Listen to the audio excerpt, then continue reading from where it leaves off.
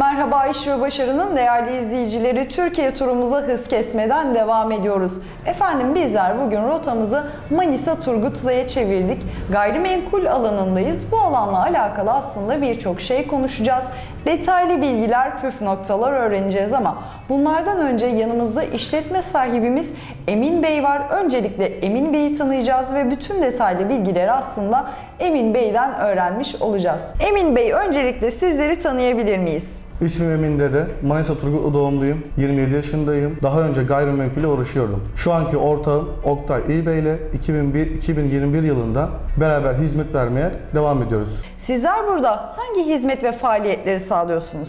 Gayrimenkul olarak alıcıyı satıcıyı bir araya getiriyoruz. Tapu işlemleri, alım satım işlemlerinin takibini yapıyoruz. Her e, bütçeye uygun dairelerimizi müşterimize sunuyoruz. Bu şekilde alım gücü biliyorsunuz alım gücü e, fiyat aralığına göre herkesin bütçesine göre değişiyor. Biz hangisi hangi müşterimize uygun, hangi dairemiz bütçesine göre e, müşterimize yakınsa onu biz sunuyoruz. Sizin burada ekspertiz işlemleriniz var mıdır? Tabii ki de her sattığımız dairede ekspertiz işlerimiz vardır. Ekspertimiz geliyor, daireye bakıyor ve dairenin sunumunu bizler aracılığında tapu takip sürecinden sonra e, müşterimizin dairelerine anahtarını teslim ediyoruz. Bunların hepsi biz takip ediyoruz. Eksper, tapu işleri, hatta şunu da söyleyeyim. Kredi işlemlerini bile hepsinin takibini biz yapıyoruz. Peki Emin Bey burada sadece daire satışlarımız mı var yoksa arsa, arazi gibi Tabii ki de, alanlarda tabii ki da de. satış yapıyor muyuz? Tabii ki de arsa, bağ, bahçe, hobi bahçesi, ev, kiralama, daire kiralama bunlar bize mevcut. Oktay Bey sizleri tanıyabilir miyiz? Öncelikle ismim Oktay İlbey. Manisa Turgut doğumluyum. 85 doğumluyum. 36 yaşındayım. Doğma büyüme Turgutluyum. Turgutlu'da ikamet ediyorum. Emlak gayrimenkul işinde de hizmet vermekteyim. Ne kadar güzel. Peki bizler buraya geldik Oktay Bey. Evi almak için ekspertizimizi vesaire yaptırdık ama herhangi bir sıkıntı çıktı.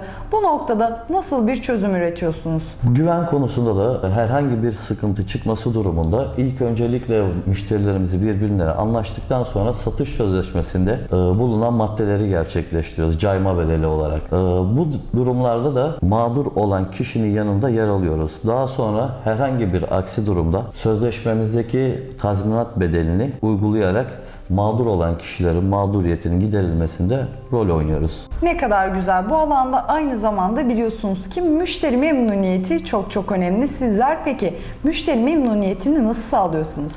Ee, Bize ilk etapta zaten müşterilerimizi tercih ettiklerinde bizim firmamızı kendilerinin nasıl ve ne şekilde bir ev istediklerini bize kendileri söyledikleri için biz de onlara uygun hem maddi hem görsel olarak en iyi şekilde onları yönlendiriyoruz. Bu şekilde müşterilerimizle de karşılıklı güven alışverişinde bulunuyoruz. Yani Şimdi bizler sadece bu Manisa Turgutlu'da mı hizmet veriyoruz yoksa Türkiye 81 ile hizmetimiz var mıdır? Genel olarak Manisa Turgutlu e, ekseninde bu çalışmalarımızı sürdürüyoruz.